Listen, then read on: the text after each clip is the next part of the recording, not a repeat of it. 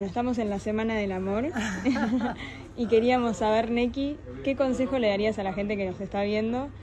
que buscan una segunda oportunidad en el amor? Bueno, es muy difícil para mí dar consejos, pero sí, chicas y chicos, lo que les puedo decir es que estén abiertos a las nuevas oportunidades, que la vida siempre nos puede presentar algo que nos sorprenda y, tenemos que vibrar alto y estar abiertos y confiar en nosotros y no pensar ni en la edad, ni en el paso del tiempo, ni si estoy mejor o peor, simplemente abrirnos y dejar ser.